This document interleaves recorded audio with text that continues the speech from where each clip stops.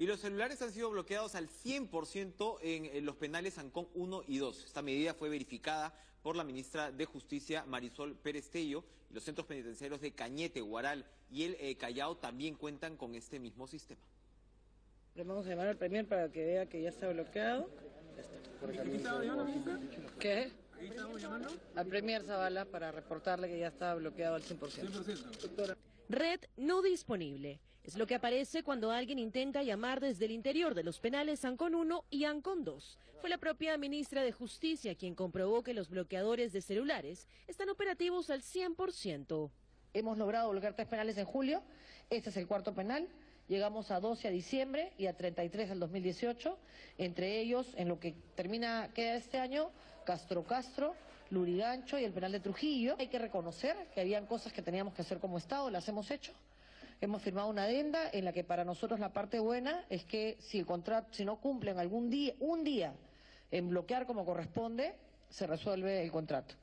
Los cuatro operadores de celulares, además del Internet, son bloqueados. Los paneles emiten las señales de interferencia las 24 horas del día y el sistema es monitoreado desde una central que cuenta con un grupo electrógeno en caso falle el sistema eléctrico. El objetivo del contrato con Prisonte es que a diciembre del 2018 en 33 penales se instalen esos bloqueadores, lo que representa el 90% de la población carcelaria. Esto funciona a través de una asociación público-privada, APP, con una empresa peruano-colombiana. Además de Ancon 1 y 2, los bloqueadores celulares funcionan en los penales de Guaral, Chincha, Cañete y Callao. Aló. Buenos días, estábamos llamando del penal de 2. Cuando entró la llamada, ¿usted recibió alguna información de que era una llamada de penal? El privado pone los bloqueadores, tiene que bloquear al 100% y la contraprestación que él recibe es la exclusividad de que ellos puedan poner en los penales sus teléfonos, para que ellos los internos puedan llamar desde los teléfonos.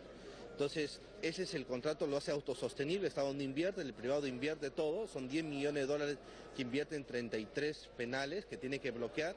Cada interno cuenta con un código intransferible para usar los teléfonos azules, que al llamar al exterior registrarán su identidad, evitando así extorsiones desde prisión se monitorea de manera que no se utilicen para utilizar, por ejemplo, centralitas o para... Eh, los penales tienen que ser lugares a donde los presos como aquí se resocialicen, no donde los presos adquieran expertise ni organicen delitos. El contrato es por 25 años. La empresa tendrá que adaptarse a tecnologías posteriores a 4G. En paralelo, existen 16 penalidades en curso arbitral por contradicciones en el gobierno pasado.